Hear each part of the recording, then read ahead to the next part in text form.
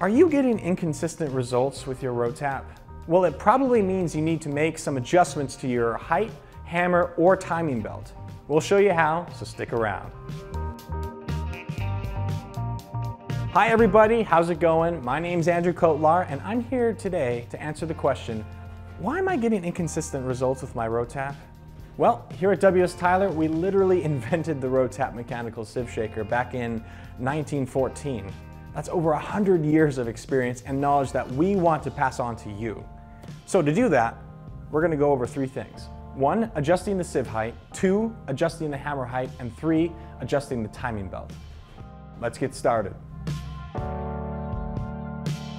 Height adjustment affects how snug the sieve cover is. If it's not tight, your material will just spill out and it'll also make the whole process a lot louder than it has to be. To adjust the height, first you're going to want to Activate the two adjusting handles by pressing the yellow buttons. Hand tighten the scored plastic end on the support bar threads. Deactivate the yellow buttons on the handles, and then tighten the black handles. If you do it just like that, your lid will be perfectly snug and ready to keep those particles in. If your hammer isn't properly adjusted, it won't be applying the right amount of force to do the job. That means your particles won't find the openings in the mesh of your sieve. So to adjust your hammer height, this is what you want to do.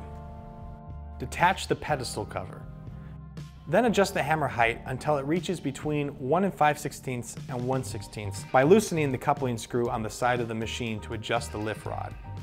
Tighten the coupling screw and reattach the pedestal cover.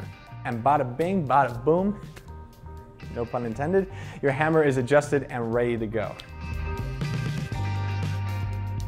So when it comes to the timing belt, it's really the driving factor for the hammer tapping motion.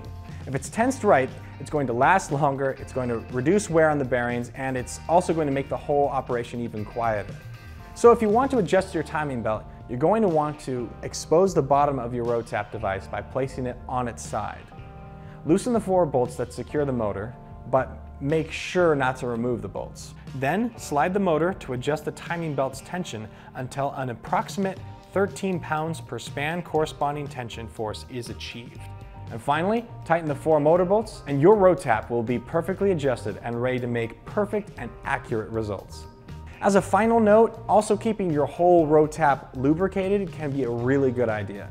In fact, putting together a regular schedule for general lubrication could really be key because your RO-TAPs, it's just going to wear out faster if you don't, which means you'll have to replace parts. So we recommend applying a light oil or WD-40 every six months to prevent that from happening. Thanks so much for watching. If you have any questions, fill out a contact us form so we can answer your specific questions. Just click the link in the description. And if you'd like to learn more about woven wire mesh or our many products, we have a learning center filled with written and video content to make you an expert. Just click the second link and you'll be that expert in no time. And don't forget to click the subscribe button and ring that bell to keep up with all things WS Tyler. Once again, my name's Andrew Kotlar, and I'll see you around in the next video. Bye for now.